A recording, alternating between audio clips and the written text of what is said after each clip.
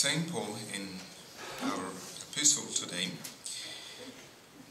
um, he invites first, he invites um, the Ephesians to imitate him, to follow in his example.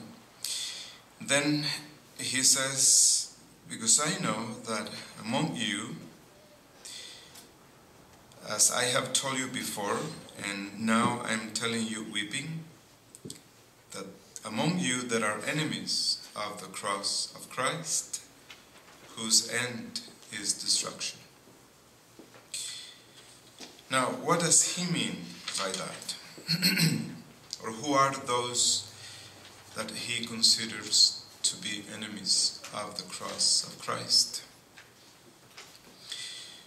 Well, St. Paul says that they are those who seek only the things of this world, satisfactions of this world. They are enemies of the cross of Christ. What can be more opposed to the cross of our Lord, since the cross preaches to us not a life of delights, but the mortification, the humility, the hardships of penance. So we may, you know, boast of being Christians. We may glory in printing on our forehead this glorious name. But if it does not act in our heart by the love of humiliation and suffering, we are simply being hypocrites. St. Paul says, Whoever does not have the Spirit of Christ does not belong to Christ. So, um, he who flatters himself that he belonged to Christ must live as he did, St. Paul says. So those who devote themselves to pleasure and vanity are enemies of the cross of Christ. See? Because those who belong to Christ, St. Paul says, they have crucified their flesh with its vices and concupiscences.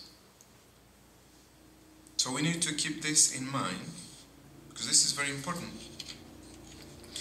Now, the first, um, I mean, what do we consider success in this culture? Well, success, first of all, is equal to not having to suffer anything.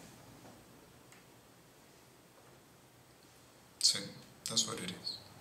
The American dream is nothing else than having all the things you want, all the pleasure you want, at the cost or, you know, whoever my, my I mean, whatever it, it may cost. See, happiness is not absence of suffering.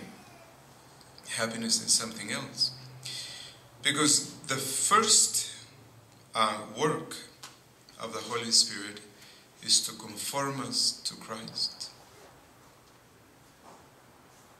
See, and I mean, you know the amount of money and effort and time that we invest on avoiding suffering. In this country, health is the greatest business. If you are not sick, you need to get sick. You go to the hospital and they make you sick. So, now, health, a good health, is not everything in life. Is not everything in life. See, now, so the Holy Spirit works to conform us to Christ, and Christ is crucified. Therefore, there can be no conformity to Him except by the cross. See, I mean, can you imagine how, how difficult it would be to find a young person with the same attitude towards suffering that Saint Teresa of the Child Jesus had? Nowadays, it's simply impossible. Same. Conformity to Jesus crucified has more value and importance than everything else. The only thing that matters in this life is conformity with Christ, and Christ is crucified.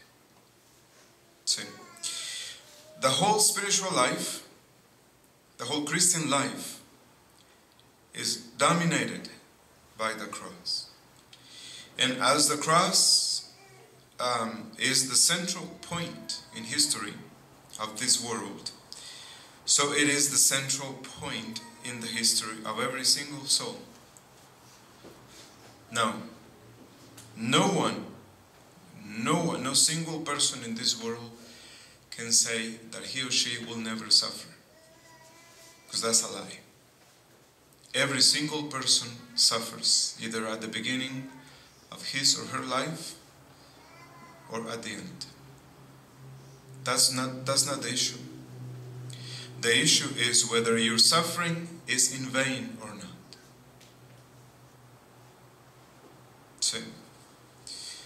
So, um, the more we share in the cross of our Lord, the more shall we resemble Him and cooperate in the work of redemption.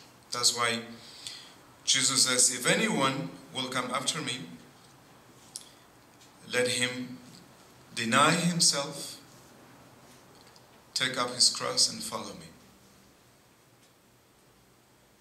There is no um, correspondence between a Christian life and lack of self denial. They don't go together. They don't go together. Same. So, this is the path which the Holy Spirit invites us to follow. So, whenever we find ourselves looking for things that are easier or pleasurable, comfortable, whenever we notice that we are satisfying our self love, our pride, or see that we are attached to our own will, let us remind ourselves that at that very moment we are becoming enemies of the cross of Christ. This idea of avoiding suffering and pain and mortification and sacrifice at all costs does not come from God, from, from the evil one. So, suffering is necessary for our uh, purification. Now, what do we do in order for our suffering to be beneficial for us? Well, the first requisite, first condition is that you have faith. You don't have faith, you suffer in vain. As it is the case of uh, thousands upon thousands of people now suffering every day. They suffer in vain. Their suffering doesn't benefit anyone. So, now, God had never placed our possibility of becoming holy as when we suffer. Holiness has nothing to do with doing extraordinary things, but with accepting joyfully, serenely everything that happens to us every day. So it is not in, you know, in big, big things that we have to, to do or extraordinary things, but every day you have opportunities to practice this conformity to Christ. See, so um, let us keep this in mind. Let us keep this in mind. One thing, the first. There is so much, there are so many sins that need to be expiated in this world. Your own, those of your family, those of this country. Someone has to pay for them because every sin has to be paid or has to be punished. We have to do it. See, it is a lot easier if we do it united to Christ. Secondly, there are so many sinners that need someone to pray for them so that they may come to the faith and go to heaven. And suffering accomplishes these two things. So let us make sure that we welcome willingly um, everything that happens to us every day and offer uh, those things for these two um, purposes for the um, expiation of our sins and for sinners who don't have anyone to, to pray for them.